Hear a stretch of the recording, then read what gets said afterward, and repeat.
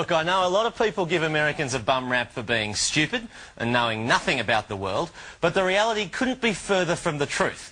As I discovered on the streets here, asking US locals about the very world their country runs. Name a country that begins with U. Yugoslavia? With U, Utah.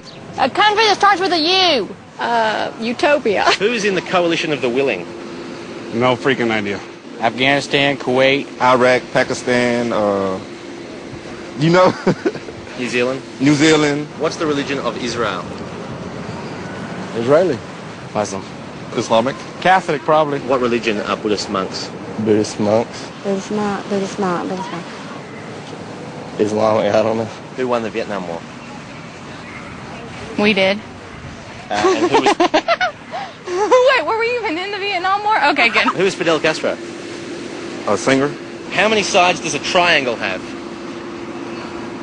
Damn, four. There's no sides. One. What is the currency used in the United Kingdom?